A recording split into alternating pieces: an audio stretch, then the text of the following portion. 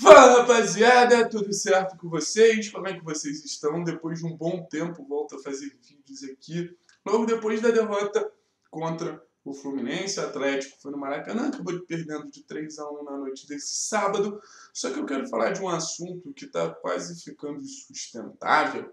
É, e na teoria tem uma data de validade pequena, assim. A gente deve aturar só mais poucos dias desse jogador específico vestindo a camisa do Atlético, caso não haja um episódio de renovação que não é impossível. Sim, estou falando do Wellington. E para começar a falar do Wellington, acho que é legal a gente fazer uma retrospectiva da passagem do Wellington pelo Atlético, para a gente entender mais ou menos é, por que esse jogador chegou a ter tanta moral, virar um líder do vestiário, e por que esse jogador que depois de ganhar tanta moral, virar um líder do vestiário, acabou virando um jogador, talvez o um jogador que entregue menos futebol de todo o elenco. A gente não está falando só das principais peças do time titular, a gente está falando de todo o elenco. E você falar de um Wellington é lembrar de um jogador que chegou muito contestado do Vasco. O Wellington faz uma temporada muito boa no Vasco em 2017, mas a sequente não é tão boa e acaba indo para o Atlético em 2018, participa ali do título da Sul-Americana como um dos coadjuvantes. Em 2019 ganha mais notoriedade ainda, sendo muito importante no título da Copa do Brasil. E ao longo de toda a temporada era um cara que dava uma segurança, tinha uma boa saída de bola, e isso transformou o Wellington, sempre muito ativo, sempre falando bastante, como um jogador muito importante para o clube Atlético Paranaense, não só para o elenco. Então os jogadores tinham o Wellington como um líder, como um cara a se espelhar. O Wellington ficou marcado como um dos jogadores recuperados pelo Atlético. A gente sabe que é histórico o movimento de mercado que o Atlético faz de tentar buscar jogadores em outros clubes para tentar recuperar, dar uma nova oportunidade, dar uma sequência, e o Wellington teve essa sequência e correspondeu por um tempo. Só que 2020 vem sendo um ano muito complicado para o Furacão. 2020 foi um ano com muitos erros de planejamento.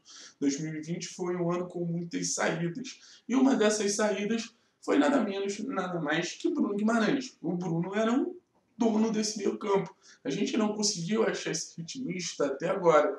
Então o Wellington, que basicamente tinha uma função de uma saída de bola ali junto com os zagueiros, enfim, não era um cara tão é, encarregado de compromissos dentro desse meio campo do Atlético, acabou ficando com as suas deficiências mais expostas, porque o Bruno dava conta de muita coisa. Então, acho que o primeiro fator para a gente ver é, o real Wellington, o verdadeiro Wellington, foi a ausência do Bruno Guimarães. Isso é um fator que influencia outros jogadores, influencia todo o sistema, todo o ecossistema do Atlético, porque a gente não tem um ritmista até hoje. Eu bato nessa tecla, o autor está tentando fazer um esquema que não precise de um jogador, mas é óbvio que faz falta. O Citadini sente falta, o Licão sente falta não é de um jogador do nível do Bruno, mas um nível, um jogador da função do Bruno.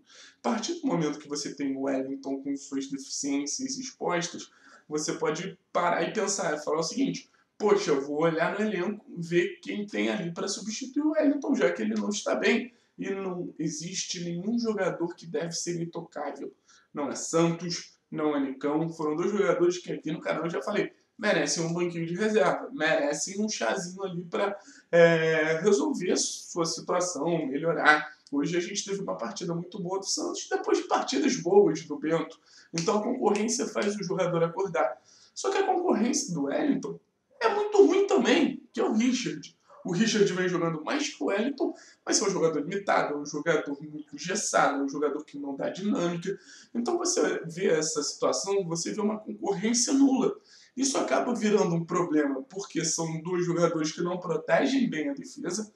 Desde o jogo lá contra Racing, contra Boca, a gente já via uma defesa muito exposta, pouco protegida por causa do Wellington, mas você acreditava, é um jogador que costuma decolar fisicamente para o restante da temporada. Não é isso que a gente viu. A gente vê um Wellington que não consegue dar o seu melhor e não consegue mesmo. E você tem um Richard que, enfim, é sem palavras. Fui super contra a contratação do Richard e tudo mais. Beleza, chega esse ponto. É, não tem mais ninguém? Tem o Alvarado que chega e mal joga. Então isso já cria uma sensação. Porra, esses caras estão jogando tão mal. Esses caras não protegem a defesa, contribuem muito pouco com o ataque. Eu vou dar uma sugestão para vocês. É, em várias e várias e várias e várias saídas de bola, vocês percebem quanto o Richard quanto o Wellington acabam optando para dar o passe no setor onde existem mais jogadores do adversário. Isso prejudica muito o ataque. O Atlético, em vários momentos, não consegue ficar com a bola no ataque porque esses jogadores não se apresentam. O que não falta são defeitos para Richard e para Wellington, gente. A gente está falando não de jogadores que não estão entregando, a gente está falando de problemas da temporada. Eu sempre bati na tecla da falta do ritmista, mas agora essa questão do primeiro volante é grave. Aí eu posso sugerir, bota o Alvarado, que jogou tão pouco, que parece querer corresponder a essa oportunidade, bota o Cauã, bota o Pierre, bota o Ramon, faz alguma coisa. Só que não dá toda vez que o torcedor do Atlético vai sentar para ver um jogo, se sentir potente vendo um cara andando em campo. E eu sei que preguiça, dedicação não é uma situação que dá para quantificar. Esse cara teve 10 preguiças, esse cara teve 8 preguiças mas é nítido em relação a comportamento. E o 2020 do Atlético mostra como o comportamento é sensacional e uma referência para você disputar um bom futebol. Quando você se comporta de uma maneira X, você entrega um futebol X. Quando você se comporta de uma maneira Y, você entrega um futebol Y. E o Wellington, o Richard até que não, vem entregando um futebol muito fraco por causa do seu comportamento porque não vão conseguindo entregar. Teve especulação de pro Grêmio, teve especulação de pro Corinthians. Enfim, são situações que a gente olha e fala, por que não foi? Por que não foi para a Turquia, sabe? Então, acho que é um jogador que já passou a fase dele, acho que é um jogador que está tirando oportunidade de gente jovem, gente que quer seu espaço. O Atlético tem meninos talentosos nessa posição. O Cauã é um jogador com passe melhor. O Cauã é um jogador que eu acho que pode ter um futuro maior no Atlético. O próprio Varado está nessa, nessa lista também de jogadores que podem ter uma sequência muito maior. E não é que ele não vem ajudando. Nem ele, nem o Richard. Eles vêm atrapalhando. Isso precisa ser revisto. Se o Dorival não reviu, se o Eduardo Barros não reviu, se o autor não está revendo, alguma coisa está acontecendo. Esse cara não está ganhando a vaga por meritocracia, esse cara está ganhando a vaga pelo histórico que ele tem no clube. Isso não deveria acontecer nem ferrando.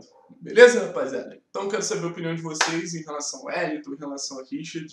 Esse problema que virou a camisa 5 do Atlético, a cabeça de área, beleza? Tamo junto, é